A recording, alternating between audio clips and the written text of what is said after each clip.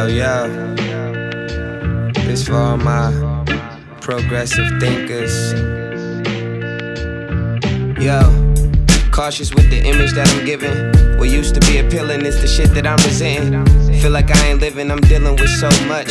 On the low, I'm acting tough, but I ain't been happy in a minute. In a minute. And what's crazy is this is just the beginning. Riding around Vegas, trying to build my foundation. That immediate happiness is awaiting, but I feel it's overrated. I'm keeping a clear conscience. I just wanna do my own thing.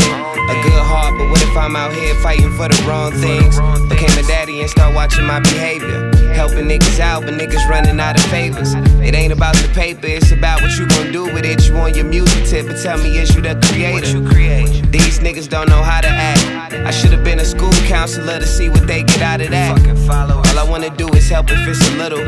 Got up in this game to really try to make a change. Wanna settle down, but the shit is so confusing. I'm just going through a stage where I'm learning how to be brave. Keep your head up. Fuck a phase, this is life, all I need is me.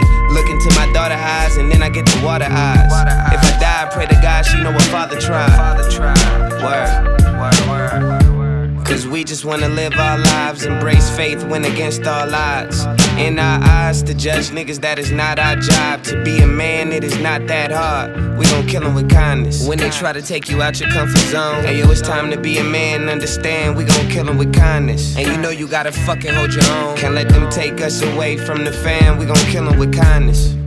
Now I'm thinking in reality. Think? Actually, I was thinking about stability. Uh-huh. I watched my single mother feed her for years just to barely pay the bills. I don't know, that shit's killing me.